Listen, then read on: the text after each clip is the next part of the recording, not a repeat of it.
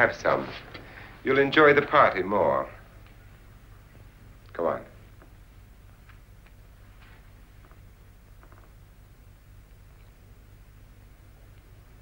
Your trust is so touching. And I'm not going to the party, Of all my wives, you're the least agreeable. but still alive. Hmm. Would you go away for a million dollars tax free?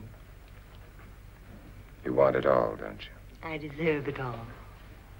Your jealousy isn't tax free, and your possessiveness is maddening. If ever a man had grounds for divorce, But can't prove them. the time will come. You'll slip up one of these days, Think so? if I live long enough. You remember the fun we had when you poisoned me? Something you ate, the doctor said. Yes, arsenic on the rocks. Annabelle, you'd do it again if you thought you could get away with it, wouldn't you? Darling, what makes you think that? Something about you.